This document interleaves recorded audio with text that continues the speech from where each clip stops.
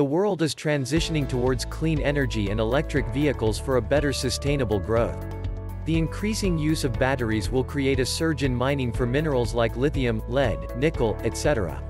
By the end of 2025, lithium demand is estimated to be nearly 1.3 million tons of LCE lithium carbonate equivalent. Activities like mining, excavation and processing of these minerals cause severe dust pollution. Dust pollution at mines and quarries causes serious respiratory diseases to the workers and citizens.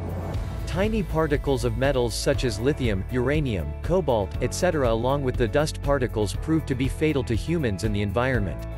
It is important to suppress the dust particles and keep the concentrations under the prescribed standards.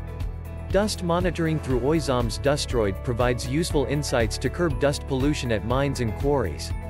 Dustroid can be integrated with the dust suppression systems such as sprinklers, mist cannons, water sprayers, etc.